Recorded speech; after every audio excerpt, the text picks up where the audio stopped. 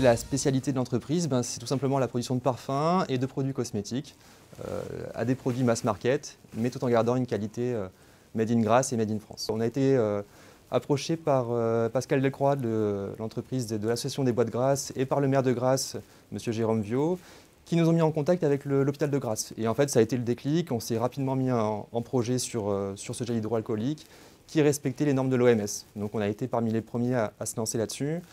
Le temps de sourcer les fournisseurs, de trouver la marchandise, et puis on lance les premières productions dès aujourd'hui.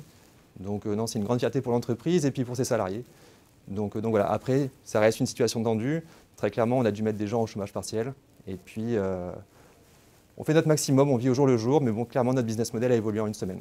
En fait, on, a dû s'adapter en l'espace de quelques jours à une nouvelle formulation. Donc, nos équipes qualité, réglementation ont suivi heure par heure l'évolution des décrets qui sont tombés pour pouvoir nous, nous faciliter la vie et proposer une formule acceptable pour les, euh, établissements de soins.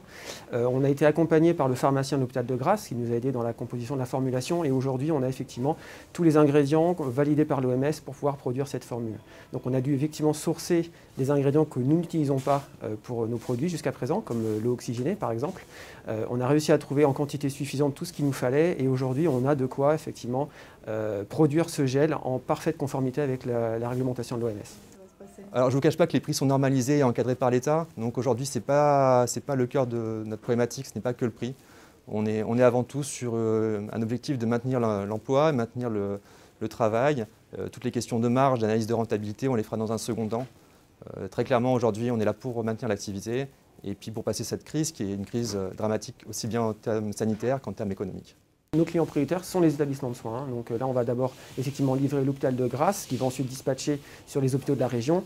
On va aussi livrer euh, les EHPAD et les autres établissements de soins euh, des Bouches-du-Rhône qui nous ont sollicité. Donc on a vraiment un carnet de commandes où on a priorisé en priorité les, le personnel soignant.